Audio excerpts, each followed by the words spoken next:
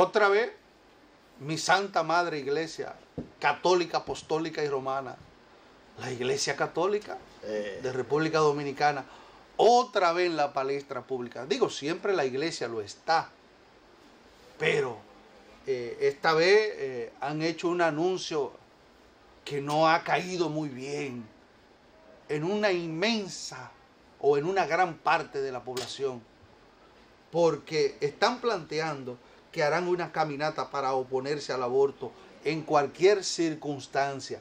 Recuérdense ustedes que el Código Penal Dominicano eh, está siendo debatido, las partes que tienen que ver con las tres causales que quieren implementar los legisladores en nuestra legislación penal, la cual, valga la redundancia, la Iglesia Católica se opone.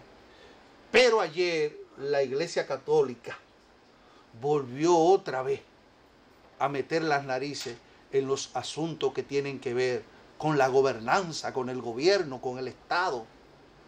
La iglesia tiene un rol fundamental que es jugar en la sociedad, como lo tiene el gobierno, como lo tiene el Estado dominicano. Entonces, hemos visto que han convocado para el 18 de este mes una caminata que han denominado un paso por la familia. ¿Ustedes están usted está escuchando, don Oh, Ramón? qué bien, qué un bien. paso por la familia cuando se están oponiendo.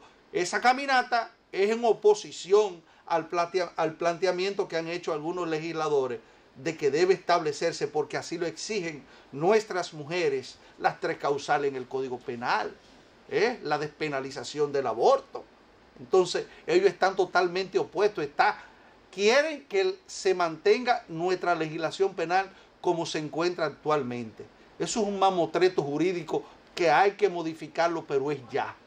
Porque no es posible, como yo decía anteriormente eh, en otro programa aquí, de que una niña que tenga 10 años y que haya sido violada, que no esperemos que le pase eso a ninguna niña de ninguna familia, pero ha sucedido muchísimas veces en la República Dominicana. Una niña que haya sido violada y que haya quedado embarazada.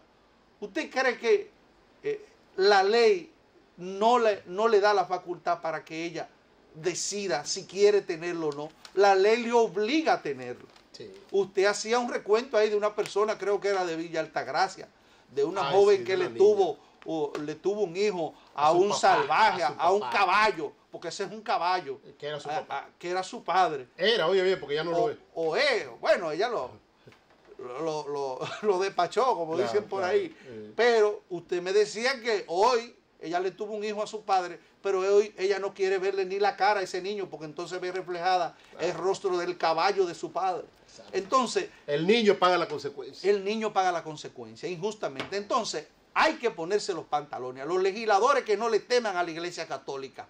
Aquí hay mucha gente que se ha puesto en contra de ese planteamiento de la iglesia católica y en el pasado torneo electoral salieron como legisladores, incluyendo el senador de Santiago, que se opuso a eso, a ese planteamiento que está haciendo tan absurdo la iglesia católica.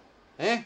Aquí hay que darle oportunidades a que las mujeres decidan en ese sentido. Además, si el feto se le muere dentro, la ley le obliga a que debe, debe tenerlo. Pero usted está escuchando, qué absurdo. Que concluya. Que cumpla, o sea, que muera la ese madre. proceso ya. ¿Vamos a permitir que muera la madre? No, no. No, hay que darle la potestad jurídica a la madre para que tengan, para que decida, es el término correcto, para que decida legalmente de si quiere o no tener a la criatura.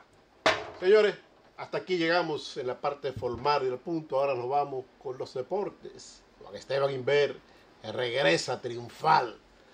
De- después de haberse comido un patimongo, por ahí me dicen.